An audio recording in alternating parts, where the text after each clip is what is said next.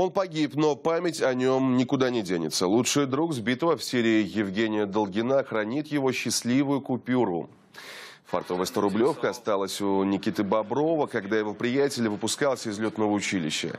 По традиции авиаторы подписывали деньги и клали их под погоны. Свою купюру Евгений Долгин подарил Никите.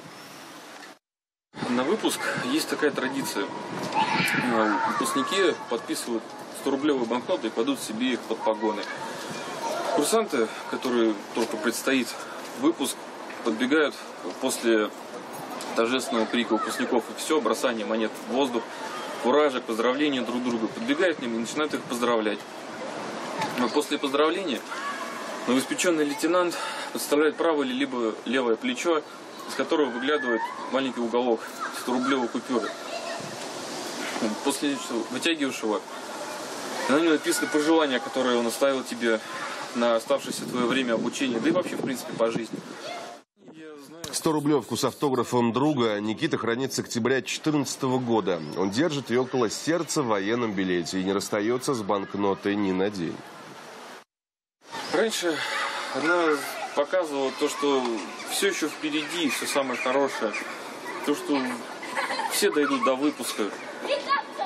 Все переживем те же самые впечатления, что переживал он в тот момент. Но сейчас это купюра остается напоминанием о Жене, о том, что этот человек сделал для меня, каким он был, каким он останется в наших сердцах.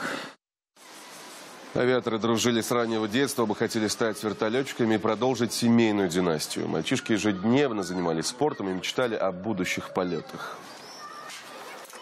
Евгения знал всю свою сознательную жизнь. Наши родители учились вместе. Оба отца закончили Соколовское училище летное.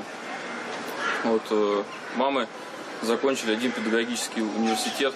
Так что Евгений я знал с ранних лет, можно сказать, всю свою сознательную жизнь.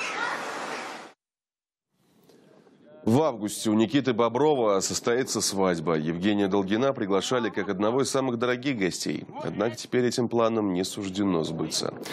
Напомню, военнолетчики Рифагат Хабибулин и Евгений Долгин погибли 8 июля при крушении вертолета Ми-25 в сирийской провинции Хомс. Их сбили террористы.